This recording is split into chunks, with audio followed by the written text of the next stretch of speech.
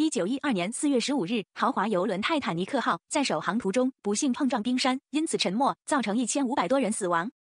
一九九一年八月九日，欧洲科学海洋考察船在冰岛发现一座冰山上坐着一位六十多岁的男子，他穿着本世纪初的船长制服，静静地吸着烟斗，双目眺望着大海。没想到，他就是沉没在大西洋中的泰坦尼克号船长史密斯。史密斯船长被救上这艘科学考察船，立即被送往奥斯陆。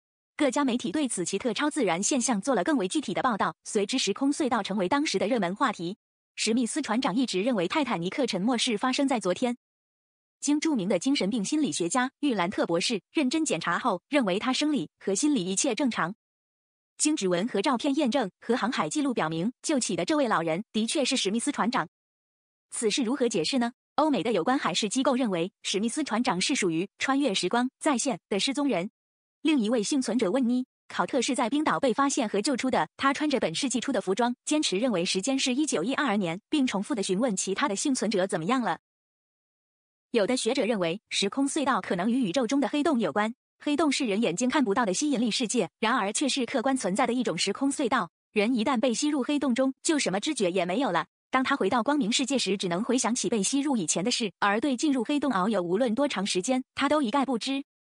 一九三四年，在美国菲拉迪尔菲亚港，有一艘满载官兵的驱逐舰正启程远海驶去。突然，一阵波涛袭来，还没等斯舵把稳方向，转瞬间，这艘船却神奇的在弗台尼亚州东南部的诺福克海港出现了。舰长、大副、领航、斯舵和水手们个个睁大了眼睛，面面相觑，谁也不知道发生了什么事情。舰长紧蹙双眉的纳闷着：菲拉迪尔菲亚港和诺福克港之间距离五百多公里，在短促的时间里，怎么可能由一个港口航行到另一个港口？况且大副、领航、斯舵又没失职，层层控制着这艘船，又怎么会发生这种不可思议的事情？